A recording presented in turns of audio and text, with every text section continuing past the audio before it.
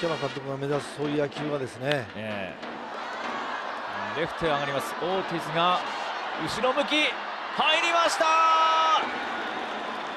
ベテランの田口が打ちました。レフトスタンドへ飛び込む今シーズン第1号。今ゆっくりとホームに帰ってきます。ベテランの田口が打ちました。3対1ホークスのリードが2点に変わります。